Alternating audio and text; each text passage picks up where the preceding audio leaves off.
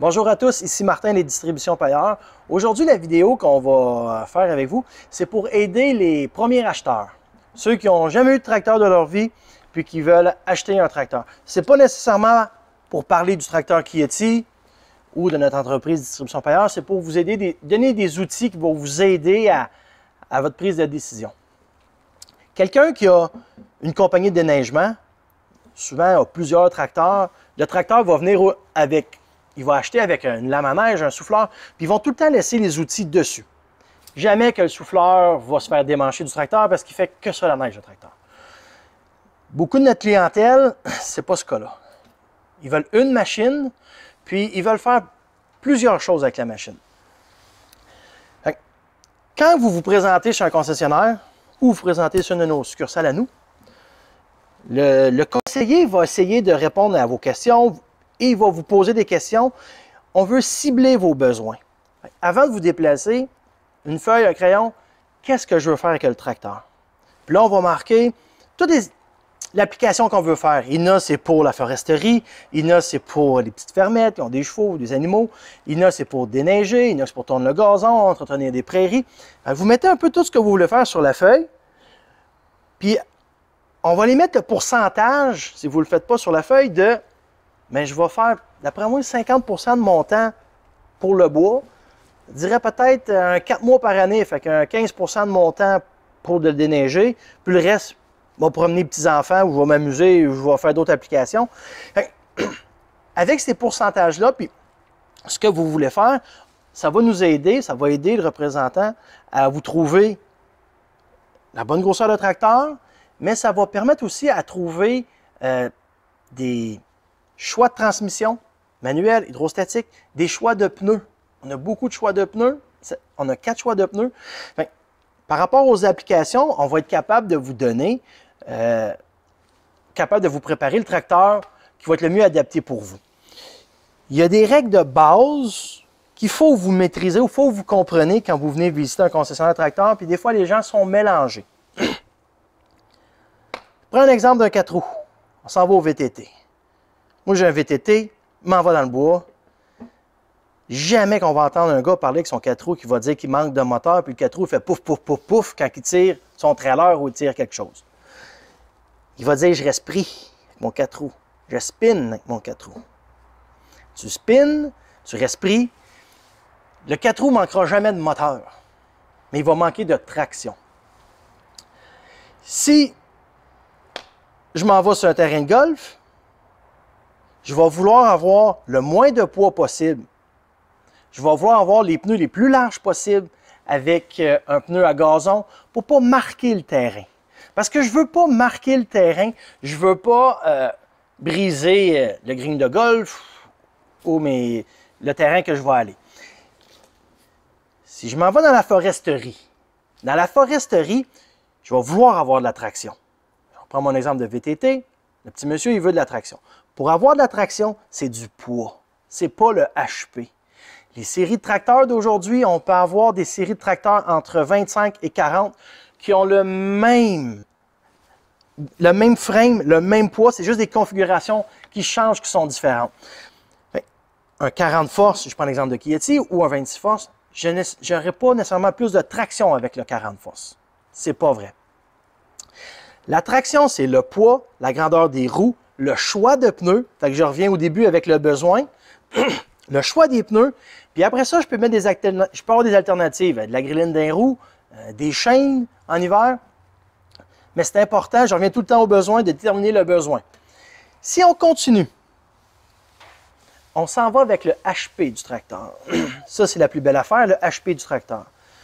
Pourquoi que Maurice achèterait un 50 forces, puis Jean-Paul achèterait un 26 forces? Pourquoi que moi j'ai besoin d'un 113 forces, puis pourquoi le vendeur chez Payeur, il veut me vendre 30 forces, puis moi, Maurice m'a dit d'acheter un 115 forces. Le HP du moteur a deux choses. Tu as ton moteur, ton cylindré en avant.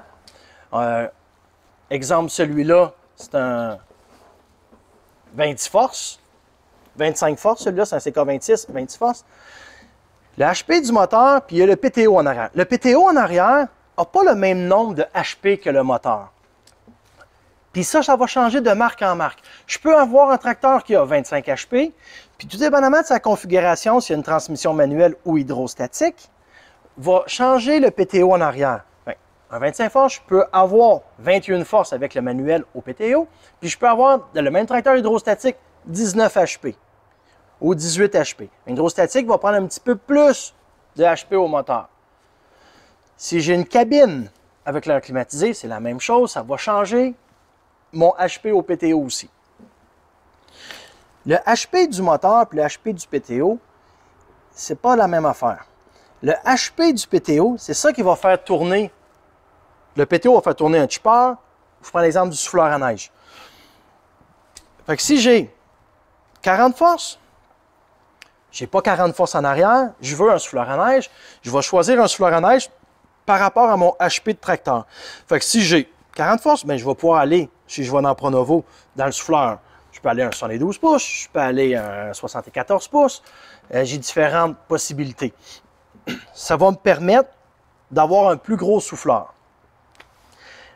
Je prends mon exemple, j'ai un 40 forces, mon risque, il achète un 74 pouces, puis moi, j'achète un 72 pouces.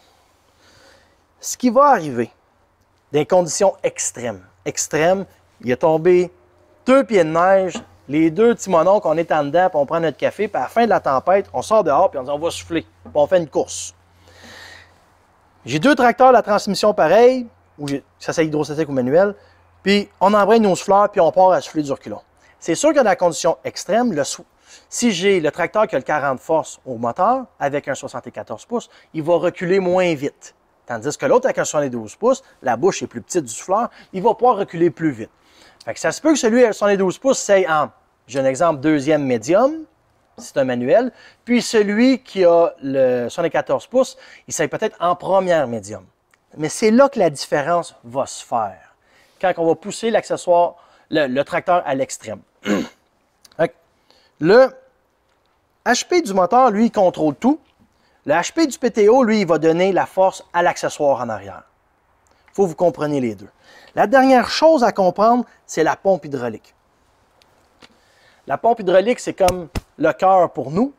C'est ça qui va faire marcher tous les accessoires sur le tracteur. Dans ce cas-ci, le chargeur en avant. Puis si j'aurais une fendeuse à bois en arrière ou un excavateur, l'excavateur serait plugué dans les sorties d'huile du tracteur. C'est ça qui va donner de la vitesse à nos accessoires. Fait que si j'ai ce changeur-là qui sait sur le CK26, le CK35 ou le CK40, c'est le même chargeur, il n'est pas plus fort. Il va lever la même chose parce que c'est la même pompe hydraulique. Si je vais changer ma pompe hydraulique, je, vais, je mets une pompe avec plus de débit, je vais aller chercher de la vitesse. Dans le cas d'un excavateur en arrière, surtout avec les tracteurs Kieti, si j'ai une pompe de 11,7 gallons par minute, je vais pouvoir virer mon tracteur pour travailler à 14-1500 tours, puis je vais avoir assez de galonnage pour opérer mon excavateur en arrière, puis avoir du plaisir. Exemple, si j'aurais une pompe de 7 gallons par minute sur le tracteur, avec la même accessoire, ben là, je va peut-être falloir que je monte mon RPM à 2000 ou 2002, puis je vais peut-être avoir proche ou pas, puis je serai peut-être même pas proche de la vitesse de l'autre. Si j'arrête une fendeuse à bois, c'est la même chose. La fendeuse à bois, va, le cylindre va avancer plus vite, puis va revenir plus vite à la position pour prendre ma deuxième bûche. Mais je ne suis pas plus fort. Je prends une fendeuse à bois, je le mets sur une pompe, un tracteur qui a une pompe de 12 gallons. Je prends la même fendeuse à bois, je le mets sur un tracteur, un 80 forces à l'extrême, à l'extrême, puis qui aurait 20 gallons.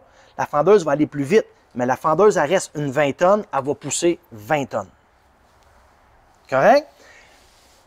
J'espère que ça vous a aidé.